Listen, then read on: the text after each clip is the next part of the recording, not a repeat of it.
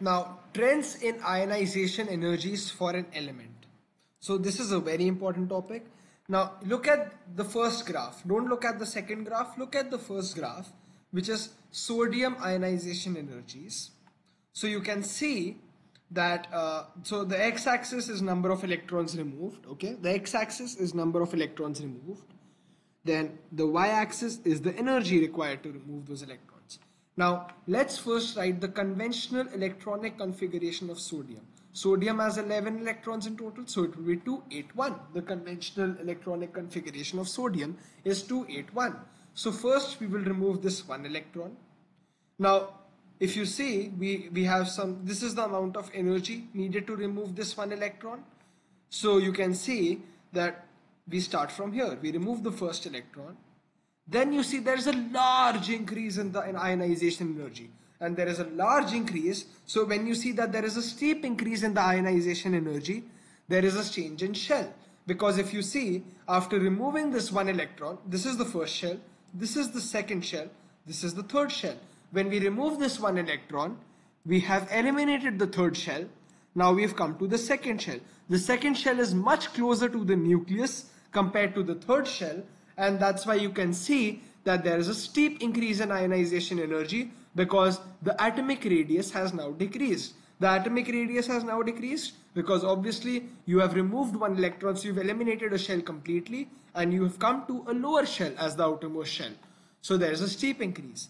Then you see that there is a slight increase, not a steep increase, till 8 electrons. 1, 2, 3, 4, 5, 6, 7 and 8. So there is a steep increase till 8, not, not a steep, there is a mild increase till 8 electrons because now we are removing electrons from the second shell.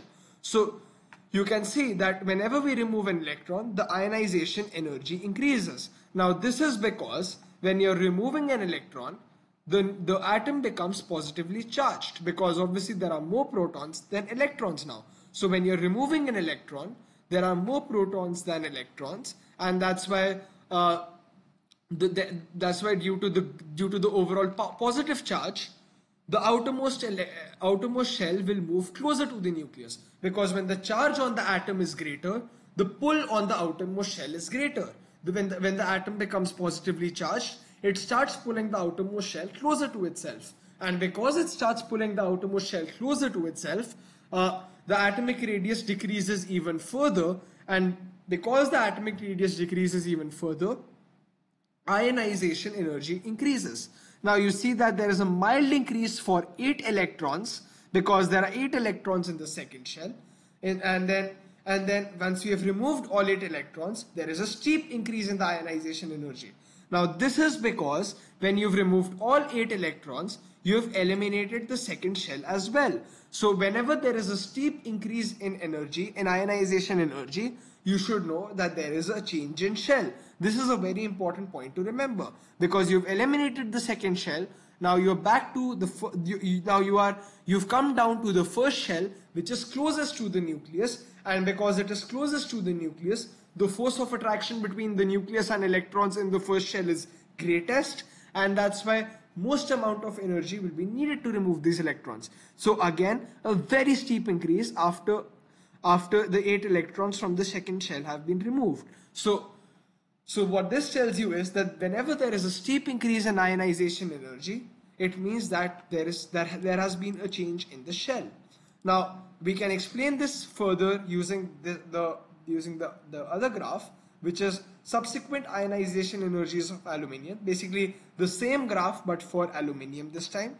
Now if you look at aluminium, it has 13 electrons in total. So an electronic configuration of 283.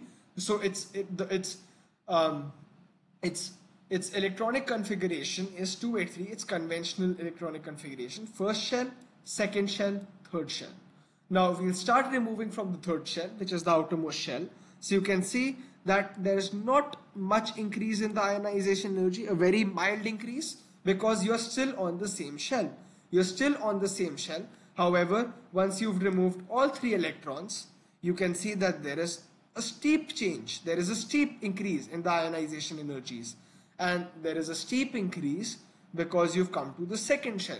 So again, change in shell. That's what we are indicating. Change in shell. Yeah.